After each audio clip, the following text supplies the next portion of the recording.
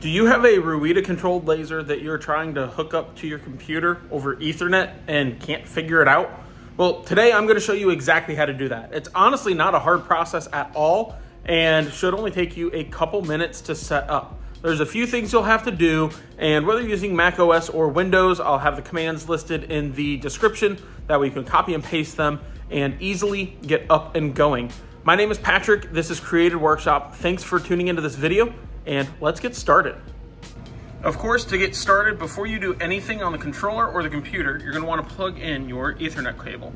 So just simply plug it into the ethernet port on the laser, and then at the back of your computer, you'll plug that in, and we are ready to dive into Lightburn and your Ruida controller to get everything programmed. To get started, you'll first need to find the IP address of your ethernet adapter. On Windows, you'll launch Command, and on Mac, you'll launch Terminal. Windows, you'll type ipconfig, and on Mac, you'll type ifconfig. I'll have those in the description below. And once you have those, then you'll be able to get everything set up. Write it down, do whatever you need to, but you're gonna need to have your IP address and the subnet mask written down and ready to use once we go over to the laser. Once you have the IP from your computer, you're going to come to your laser that's plugged in. You're gonna hit your ZU button, navigate all the way down to IP config, hit enter. Now you're gonna go through and just change this. So I'm not gonna actually change any of these settings. Uh, these are the settings that I used, but you'll hit the ZU button to go between everything and get it all entered. Here's the one thing you wanna remember. Do not enter the actual IP address that you saw on your computer. You want to enter typically just one number off as you saw on my computer. It was .39, so I entered .40 here on the laser. And then what you'll want to do is jump down to your gateway and make sure that your gateway settings are all the same.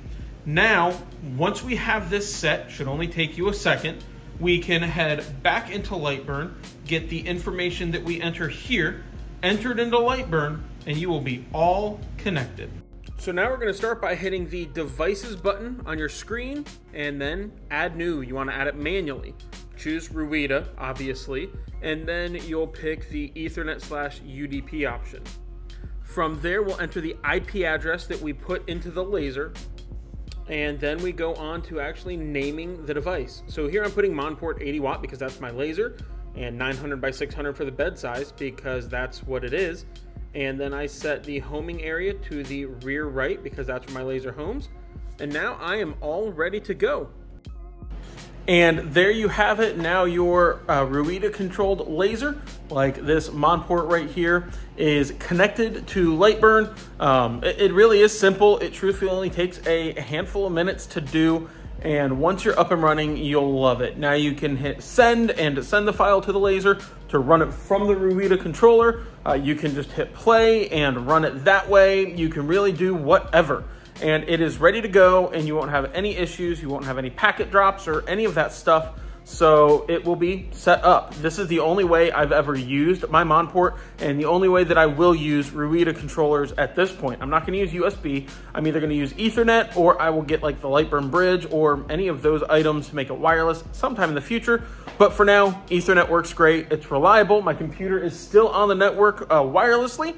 So the ethernet jack is just for the laser, wireless for actual internet, and all of it is done. If you're looking to save some money on a laser, I've got a code in the description below that can save you 10% at Monport on just about anything they offer. Um, Monport and I have partnered in order to offer you that discount. I do get a little bit of a kickback if you purchase through my links. Doesn't cost you anything extra. Like I said, it saves you money uh, to use my link in my code below. And if you have any questions about Monport or just the Ruida controller, any of that stuff, please send me a message or go ahead and leave a comment below and I'll do my best to help answer those questions. If you've got video ideas that you want to see in the future, then again, just leave that comment below. I will do my best to get to them. We've got several other videos coming out, like how I have my air compressor here hooked up to the laser with dual stage air. So I have a low flow of air whenever I am engraving and high flow when I'm cutting.